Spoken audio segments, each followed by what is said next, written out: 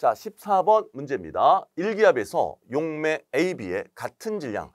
지금 여러분 이것도 많이 헷갈립니다. 지금 보통은 용질의 종류에 따라 이런 걸 많이 물어봤지만 뭘 줬죠? 같은 질량의 용질 X를 넣은 거예요. 그러니까 같은 질량의 용질이고요. 뭐가 다르냐면 용매의 종류가 다르다는가. 그 용매의 종류가 다르니까 아 얘네들의 끓는 점의 변화가 생길 텐데 끓는 점의 변화가 생기면 끓는 점 오름에 대한 값을 물어보는 거구나. 근데 끓는 점 오름은 그 상수값에다가 몰랄농도 곱해주는 거고 이 끓는 점 오름 형태로 상수값을 결정하는 건 용매의 종류에 따라 달라지는구나. 그죠? 용매의 종류에 따라 달라지는구나 라는 걸 알고 계셔야 돼요. 자, 이 문제가 우리 오답률 2위라고 하는 그죠? 문제였어요.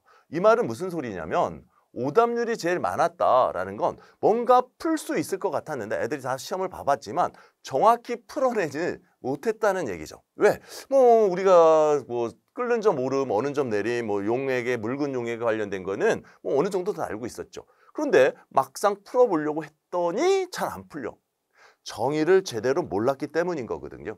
그죠? 아 간단한 문제인데 정의 때문에 그래요. 자 일단 음, 바라보는 시각이 조금 달랐죠.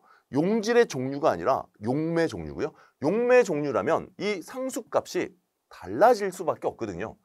그죠? 용매에 대한 상수니까 자, 이걸 좀 살펴보셔야 됐었던 겁니다. 자, 그러면 얘네들 값을 어떻게 결정할 수 있느냐 확인해 보겠습니다. 여러분, 용매 질량이요. W, EW. 자, 같은 용질이라는 건 몰수가 같다. 몰수가 똑같은 거예요. 똑같은 몰수. 근데 이게 몰랄 농도라는 걸 표시해 보면 몰랄 농도를 표시해 보면 몰랄 농도 뭐죠? 네, 용매의 질량분의 용질의 몰수 아니니? 근데 용질의 몰수가 1로 똑같잖아. 그러니까 몰랄 농도는 용매양의 역수야. 자, 그러면요.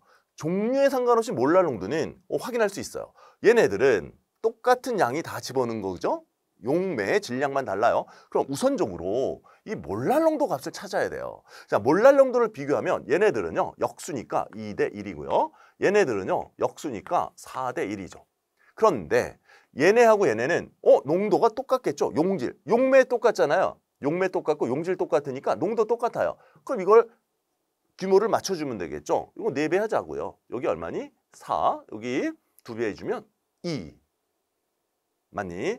2대 1에서 2배 해줬죠. 그럼 이거 농도 같죠. 아 그럼 얘네들이 4대 2대 4대 1이 얘네들의 무슨 비? 몰랄 농도의 비가 됩니다. 됐니 여기까지? 자 그럼 몰랄 농도의 비가 존재하고요. 자 그럴 때 얘네들의 뭐가 끓는 점이 달라져요. 자 몰랄 농도가 그죠? 두 배 증가했을 때 몰랄 농도가 세 배 증가했을 때 끓는 점에 대한 차이가 발생합니다. 이때 또 주의사항은요 여러분 끓는 점이라는 건 이 몰랄 농도 끓는 점이 여러분 요 오름하고 헷갈리면 안 돼요. 어떤 친구들은 어 쌤 이거 바로 보니까 118. 아 끓는 점 오름 알 수 있어요. 0.9예요. 어 요거 알 수 있어요. 0.3입니다. 어 요거 알 수 있어요. 0.2예요. 0. 아 0.1이에요. 야, 이렇게 생각하면 큰일 나죠. 여기서부터 이제 실수가 나오는 거죠. 왜죠? 끓는 점과 끓는 점 오름은 달라요. 그러면 끓는 점 오름을 알려면 원래 끓는 점에서 얼마가 더 나오느냐 그게 바로 요 끓는 점 오름이잖아요. 얼마나 더 섞였느냐 그걸, 그걸로 차이가 얼마나 나느냐 알 수 있는 건데 이걸로 바로 어, 118 이렇게 왜, 왜 이, 우리가 이게 100이라는 게 물의 기준 끓는 점이니까 0.1일 거야 라고 착각하거든요. 절대 그렇진 않단 말이에요. 그쵸? 끓는 점 오름이 아니라 끓는 점이라는 건요. 어 이게 원래 기준 끓는 점이 얼마인지 A와 B의 기준 끓는 점 알 수 없잖아요. 이게 100인가요? 아니 이게 100인가요? 모른다고요. 넣어주는 거에 따라 달라진 거니까. 그쵸? 그러려면 내가 필요한 건 뭐가 필요하다고요?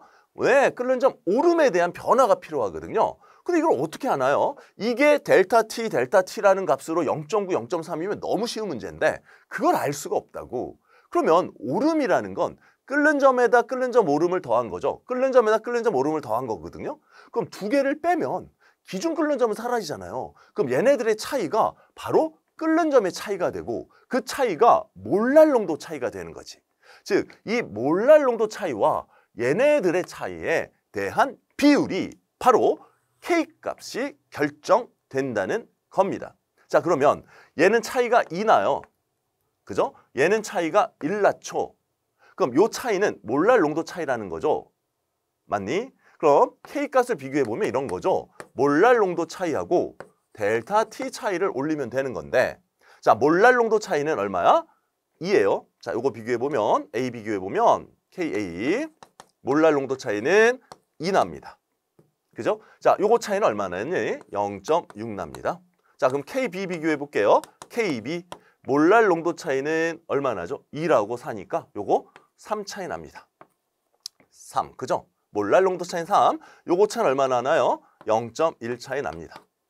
그쵸? 자 지금 A의 몰랄 오름상수와 B의 몰랄 오름상수는 바로 요 값을 비교하는 거죠. 자, 요거 나눠주면은요. 뭐 이건 사라지겠죠? 0.0점 사라져요. 2분의 얼마니? 3 곱하기 6이죠. 따라서 얼마? 9가 나오는군요. 정답은 몇 번? 3번이 됩니다.